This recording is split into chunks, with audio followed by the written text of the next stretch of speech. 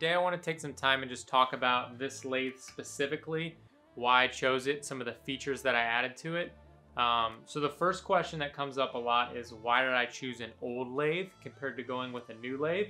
The simple answer is I wanted the beauty of kind of an older style lathe and I also wanted the benefits that an older lathe have. Um, now there are some cons which I'll get into and a lot of those cons that I have addressed uh, but the short answer is I wanted something old and nostalgic that was better built um, and I was going to address the shortcomings of this lathe specifically. Um, the second question I get a lot is why this lathe specifically, the Colchester. Um, and there are a lot of lathes out there that are great lathes. Um, the Monarch 10EE is a great lathe. I would have loved to have that. Um, you know, there's a bunch of good South Bend lathes, LeBlond lathes. Um, I found a great deal on these Colchester lathes. Um, and really the way that they're designed, they're really overkill and overbuilt. Uh, and that's something I enjoy quite frequently is when things are designed uh, over what is needed. And that's the main reason I went with this.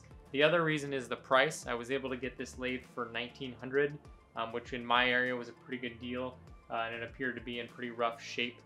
Um, going into some of the details of what I've done to the lathe to bring it uh, back into this century and kind of restore it. So the first thing was when I got this, it had a three-phase motor. Um, three-phase I have no problem with, but it was a high and low speed motor. Um, and I wanted to convert that and also be able to use it in my shop. The motor it came with was 460 volts, and so even if I did a VFD, I wouldn't be able to use that. So I took the motor out and put a 5 horsepower Baldor motor in and a VFD. Um, that VFD allowed me the ability to change the speeds variably, um, which is why I installed a variable speed control. Um, and the real reason I did that was I wanted to be able to dial in the speed uh, much more specifically. That way, if I'm doing any sort of power tapping, I can run the chuck real low, and with a 5 horsepower motor, I can really get the torque that I need. Um, the other thing that I did is I added a quick change tool post by Aloris. I really wanted to go with a quality unit that would last for many years to come, and then I went with a bunch of Aloris tool holders. Um, let's see.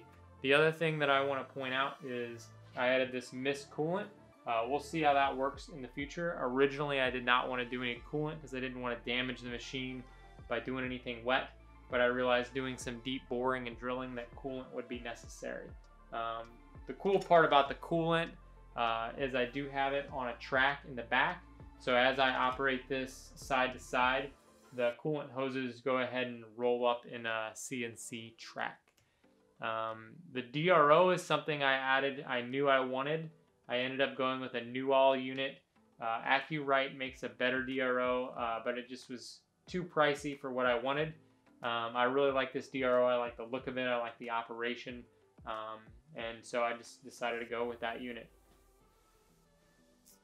The other thing that really I wanted in a lathe was the ability to have everything at the ready. Um, so when you're trying to work and you're trying to be lean, you want to be able to grab the tools you need. You don't want to be hunting around with them in drawers. So I decided to take this backsplash and add a shelf. Uh, that way I could add all my tool holders, uh, add the tools I need, micrometers, etc. That way when I'm working, all I got to do is grab a tool, put it back. Um, so I was able to weld onto the shelf that was existing so that I could add the features that I want. Um, I also added a compressed air setup um, just so I could have air at the ready and be able to blow chips away, um, be able to take care of any of that. Um, I also was missing the steady rest on this unit when I got it, so I was able to go online and source one of those, um, which was really, really nice because those can be hard to locate. Uh, lastly, I was able to get uh, a couple of chucks for it. This is a four jaw chuck. Um, I believe it's Chinese. I bought it on uh, MSC. Uh, it's a Gibraltar. Um, and then I got a Jacobs chuck uh, that is a uh, flex, rubber flex collet for doing collet turning. And then I got a really nice uh, Bernard three jaw chuck as well. And these are all eight inch chucks. So we're good on chucks. I got the tooling that I needed.